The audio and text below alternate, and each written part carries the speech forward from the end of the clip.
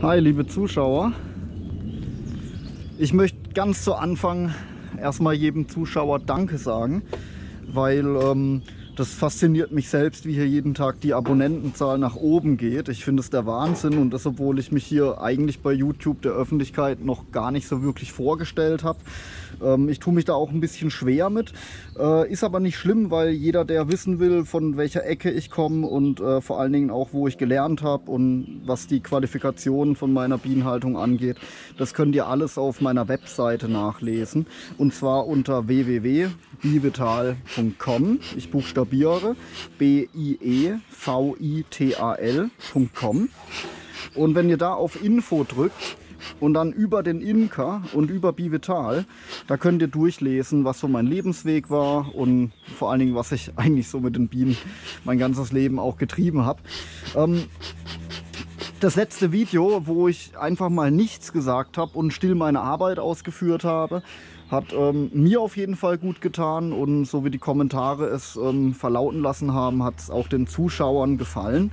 Und deswegen habe ich mir heute gedacht, ich gebe euch gerade nochmal ein stilles Video, wo ich auch, wenn Probleme auftauchen, da gar nichts dazu sagen werde, sondern einfach nur mein Ding hier mache. Ähm, heute will ich das vorweg, ähm, genau, erstmal wieder ein Grasbüschel, ein Smoker. Eins vorweg, äh, der Bienenstand hier, ähm, den nenne ich Kirschhütte. Ähm, und das letzte Mal war ich genau vor drei Wochen hier. Das war der erste Rhythmus nach dem Winter. Und ab heute gehe ich in meinen 14-tägigen Tages-, also Kontrollrhythmus für die Bienen rein. Und die 14-tägigen Rhythmen werden nur bis dahin eingehalten, bis ich Schwarmtrieb habe. Wenn heute schon Schwarmtrieb wäre, dann muss ich diesen Bienenstand innerhalb der nächsten sieben Tage wieder durchschauen. Ich hoffe aber, dass es nicht so weit ist, auch wenn ich heute schon bei einer Kundin den ersten Bienenschwarm eingefangen habe.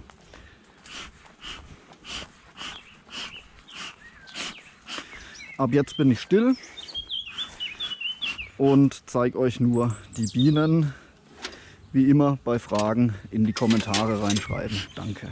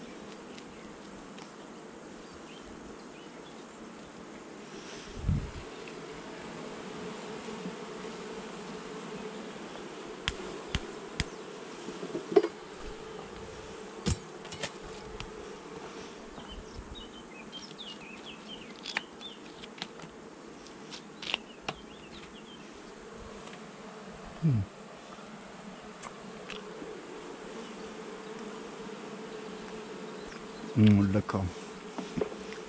Danke, liebe Bienen. Mm, ich glaube, da muss ich heute noch mal was klauen.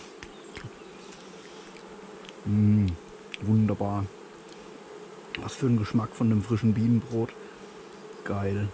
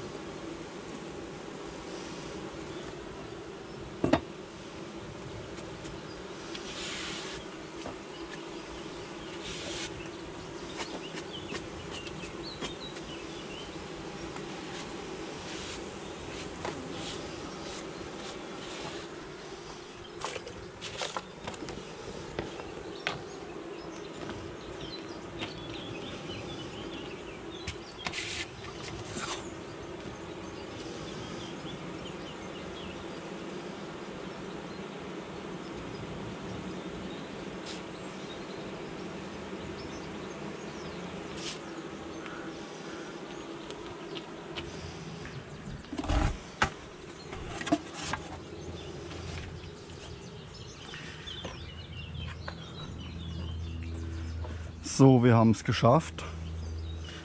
Und wie beim letzten Video mache ich jetzt nochmal einen ganz kleinen Rückblick, ähm, um einfach mal nochmal hier zu zeigen, was ich jetzt hier eigentlich gemacht habe. Also ich habe die Völker durchgeschaut, ich habe sichergestellt, dass sie bis zum nächsten Kontrolltermin auf jeden Fall mehr als genug Futter haben. Wir können jetzt schon kalkulieren mit 500 Gramm täglich. Ähm, da ich jetzt da hinten Volk hatte, wo schon Schwarmzeit hatte, ähm, ist der nächste Turnus hier für diesen Bienenstand in den nächsten sieben Tagen. Wie es dann da weitergeht, würde ich jetzt auf ein nächstes Video legen. Das wäre jetzt für heute zu viel. Aber ich habe auf jeden Fall mal sichergestellt, dass die Bienen, selbst wenn es regnet, die nächsten sieben Tage mehr als genug Nahrung haben. Das entspricht dann einer Woche 3,5 Kilo, wo sie fressen würden. Und das ist locker drin. Also da Entwarnung. Dann habe ich äh, bei jedem Bienenvolk rigoros Drohnenbrut geschnitten. Mit dem Thema ist wirklich nicht zu spaßen. Das, was hier drin ist, ist wirklich so der Rest an Milben, wo eben durch die Winterbehandlung Oxalsäure überlebt hat. Das reichert sich hier an in der ersten Drohnenbrut und wer das halt nicht rausnimmt, der verpennt die erste Chance, seine Bienen einfach zu entmilben, ohne die mit irgendwelchen Methoden später zu quälen. Explizit was Säureeinsatz angeht, kann man eben deutlich reduzieren, wenn man biologische Milbenbekämpfung macht. Dann habe ich ähm, in den normalen Kistensystemen, äh, da habe ich einfach, wenn ich hier nun wieder mal Waben tausche, dann ist das einfach gut. Das entspricht einfach der Praxis, wie man das machen sollte. Ähm, bei den beim vorderen, also bei rechts der Kiste, da muss ich in den nächsten Tagen einen Honigraum aufsetzen, weil das Brutnest beginnt jetzt zu verhonigen. Das Volk ganz links, äh, also ganz da oben auf dem Buckel in der Sägeberger Kiste, da wird die Königin bald schlapp machen. Die ist jetzt über zwei Jahre alt und man kann deutlich die Zeichen vom Bienenvolk sehen, dass die eben eine neue Königin reinmachen wollen. Da muss ich jetzt aber mindestens noch mal 14 Tage abwarten, weil wir haben ja noch gar nicht ausreichend Drohnen hier in der Luft für eine junge neue Königin. Wenn ich auch hin und wieder mal Waben verdrehe oder die mit dem Stockmeißel andrücke, dann hat es den Zweck, dass einfach äh, ich im späteren Jahresverlauf die Waben noch gerade rausziehen kann. Ist ja schön, wenn es der Biene nichts ausmacht, diese Buckelwaben. Und wenn sie mal hügelig werden, dann wird ja ein Hügel sozusagen das Negativ von der nächsten Wabe und das setzt sich dann durchs Bienenvolk fort und wie gesagt, der Bienenbiologie schadet das nicht. Im Gegensatz ist eigentlich sogar produktiv für die Biene, aber wenn ich mit den Tieren arbeiten will, dann muss man eben glatte Waben haben, weil sonst hat man im späteren Jahresverlauf eine Menge an Räuberei. Das kommt nämlich durch diese Beulwaben und gequetschte Bienen und wer will das schon haben. Deswegen jetzt im Frühling ist die richtige Zeit, während dem Bautrieb die Waben gerade zu biegen. Das gilt explizit für diese äh, Top-Bars hier, für mein Homehive-System. Das waren ja äh, hier die zwei Völker und hier jetzt die letzten drei, wo ich durchgemacht habe. Da habt ihr ja gesehen, im unteren Raum sind es nur Naturwaben. Und äh, wenn die halt mal zu dick werden, muss ich dann ausbuchten oder glatt schleifen und äh, hin und wieder auch mal mit dem Daumen die Waben reindrücken. Was ich auch mit meinem Finger immer mache, sind diese kleinen Fussel, äh, Teilchen, diese Wachsbrücken zwischen den Waben, die werden bei mir konstant immer mal wieder, wenn ich die Wabe in der Hand habe, einfach reingedrückt. Auch hier gilt, muss man nicht machen, aber wenn man es macht, habt ihr im späteren Jahresverlauf einfach bessere Karten. Beim Bienenvolk gilt immer, wenn eine Brücke in Entstehung ist, dann pappen sie dir noch mehr hin. Deswegen ist es einfach klug, wenn man so, so das in der Hand hat, einfach reindrücken. Was habe ich noch gemacht? Ich habe äh, geschaut, ob die Königin gut Eier legt. Also ich habe bei jedem Volk sichergestellt, dass ich entweder die Königin in meinen Augen gesehen habe oder dass ich Eier gesehen habe. Und zwar begattete Eier in Bienenzellen und nicht in Drohnenzellen drin. Drohnenbrut, die jetzt offen war, die bleibt logischerweise im Bienenvolk drin. Drohnenbrut wird am Tag 10 verdeckelt. Das heißt, wenn die sozusagen noch offen ist, dann ist es ja unter Tag 10. Und wenn ich jetzt in sieben Tagen gucke, dann kann ich die auch nicht verpassen. Bei dem nächsten Kontrolltermin in nächster Woche, am Mittwoch dann. Wenn es regnen sollte, kann ich zwei Tage auch nach hinten schieben. Also auf Tag 9, auf Tag 8 und 9 kann eigentlich auch nichts passieren, was den Schwarm angeht. Ähm, trotzdem mit jedem Risiko, also mit jedem Tag, wo man weiterzieht in der Schwarmzeit, ähm, läuft man halt Gefahr, dass Schwärme rausbüchsen. Deswegen ist besser Tag 7. Wer will aber schon bei Regen zu Bienen gehen, also schiebt man es auf Tag 8 oder 9, wenn es da schlecht Wetter geben sollte. Und beim nächsten Mal wird auch definitiv noch keine Vermehrung gemacht, aber beim nächsten Mal wird schon in die Drohnenbrut genauer reingeschaut.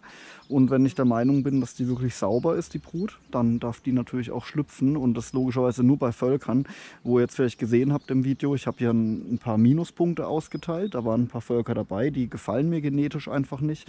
Ähm, und ich habe aber auch bei manchen Völkern wirklich dick Pluspunkte in der kompletten Linie geben können, weil die einfach fantastisch aussahen und dementsprechend auch vermehrungswürdig sind. Und das sind auch so die Entscheidungen, wo man dann treffen kann, wenn man Drohnenbrut schneidet man muss sich halt schon die Genetik genau angucken. Ne? Eins nicht vergessen, wir Imker sind alle in einem riesigen Boot slash Bienenstock drin. Das heißt, wenn einer halt mal von einem Bienenvolk wirklich massig Drohnen in die Luft schickt, wo die Genetik halt einfach völlig verkorkst ist, zum Beispiel CPV-Anfälligkeit oder hat überhaupt keine Bissspuren auf Varroa-Sensitivität. Ähm, ja, also was ich damit sagen will, jeder Mensch, der Bienen hält, ist ein großes Stück weit in der Verantwortung für sein komplettes Umfeld. Und ich würde mir wünschen, wenn die Menschen, die Bienen halten, das einfach berücksichtigen, dass man mit Stockkarten Bienenvolk durchguckt, da auf ein paar nötige wissenschaftliche Punkte eben eingeht. Ihr könnt euch übrigens meine Stockkarte kostenfrei downloaden auf meiner Webseite und dann eben auch wirklich schaut, ähm, wenn ihr wirklich der Meinung seid, die Männchen schlüpfen zu lassen. Und ja, ich bin auch der Meinung, das heißt, es ist ja keine Meinung, das ist, ähm, das ist Fakt. Ein Drohnen gehört zum Bienenvolk dazu. Wenn es nicht so wäre, dann hätten es die Viecher irgendwie schon vor ein paar Millionen Jahren anders da gemacht, aber das tun sie nicht.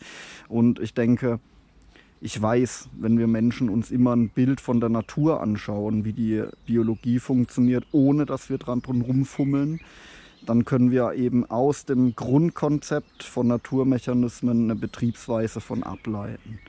Das ist das, was ich mit der regenerativen Bienenhaltung gemacht habe. Und dann ist man halt in der Position, wenn man Bienen hat, zu überlegen, ist es gut, Drohnen schlüpfen zu lassen für mein Umfeld? Ja, wenn es aus einem guten Volk kommt, wo wiederum den kompletten genetischen Pol im Umfeld der anderen Bienenvölker auch verstärken tut. Wenn jeder Imker da einfach nur blind äh, irgendwelche Tierchen schlüpfen lässt und wir haben dann nachher eine total verkackte Genetik in der Luft rumfliegen, ist damit niemand was geholfen. Und was ich auch äh, sehr wichtig empfinde, ist, wenn man Bienen vermehrt, nicht in eine Linienzucht reingehen. Also alles, was eine Linienzucht angeht, ist halt die Einschränkung von unserem genetischen Pol, wo die Biene haben könnte.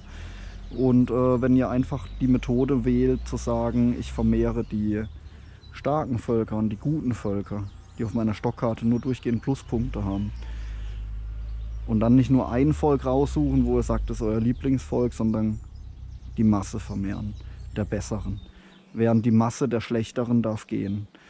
Wenn ihr das nicht ähm, sozusagen als Mensch pushen tut, den Effekt, dass schlechte Genetik geht, die Natur ist da ein bisschen grausamer. Also in der Natur würde zum Beispiel ein Bienenvolk, wo auf Kalkbrut anfällig ist, da würde die Varroa kommen und ratzfatz alles wegfressen. Das habe ich übrigens wunderbar sehen können im, im Dschungel in Asien, ne, wo einfach sieben Bienenrassen auf einem Schlag in einem Dschungel drin hocken. Und da kann man den Effekt genau beobachten, dass wenn die Genetik eine Öffnung hat für Pilze und Viren, dann kommen die Tropeleaps und die Varroa und lischt das Volk aus. Und das ist vielleicht schon mal so ein kleiner Tipp jetzt an euch, was die Milbe eigentlich für eine Funktion hat in der Natur. Also ein Schädling ist er definitiv schon mal nicht. Und das kann man auch biologisch wirklich ausschließen, das Wort Schädling, weil wenn es ein Schädling wäre, dann hätten die Bienen ja nicht schon seit Anbeginn der Zeiten, wo es Bienen gibt, auch Milben. Die haben sich mitentwickelt. Also haben die wohl einen Grund. Ähm, was kann man noch sagen? Äh, ja, ich habe genau, ich habe bei dem Volk hier die Honigräume aufgesetzt, weil die 1,5er Hochkanträhmchen im Segeberger Maß sind vergleichbar wie mein Homehive.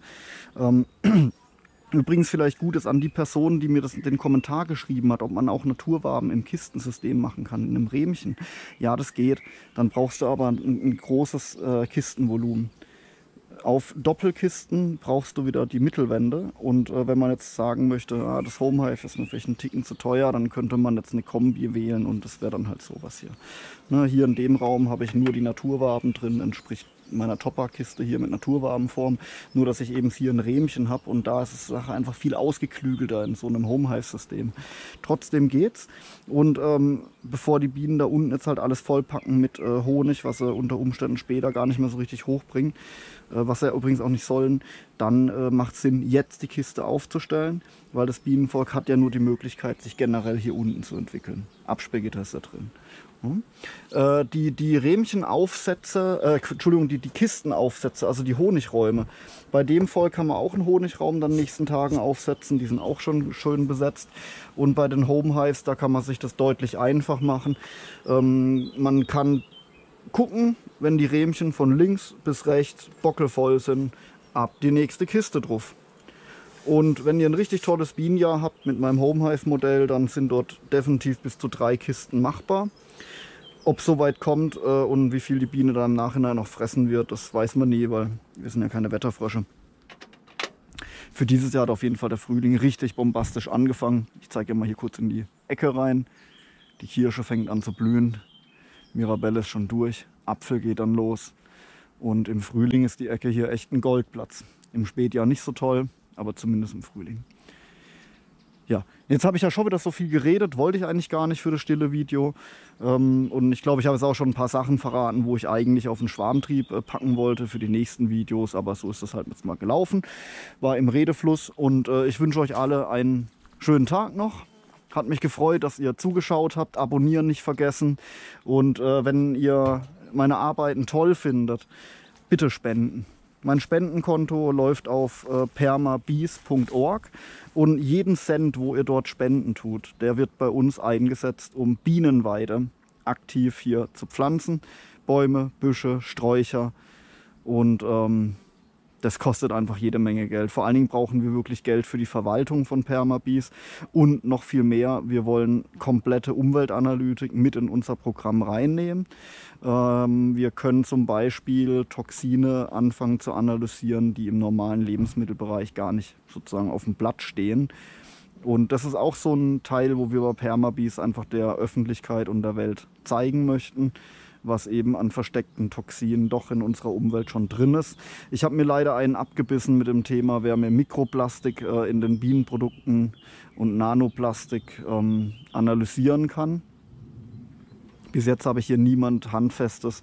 Wer das hört und eine Idee hat, wo Bienenprodukte, der Körper der Biene ähm, und die Produkte, also Bienengift äh, bis hin zum Bienenwachs, Honig, Chili Royal etc., Propolis. Ich will es wissen. Und zwar Metallbelastung und äh, die Mikroplastikbelastung. Mich interessiert es. Und das Geld wird nicht da sein von meinem eigenen Geldbeutel, um solche riesigen Analysen zu zahlen. Und deswegen haben wir dieses Projekt permabees.org aufgebaut. Und äh, wenn ihr meine Arbeit toll findet, hey, spende da ein bisschen was. Jeder Euro kann helfen und am besten macht dann noch drei Nullen hinterher. Danke, bis zum nächsten Mal. Ciao.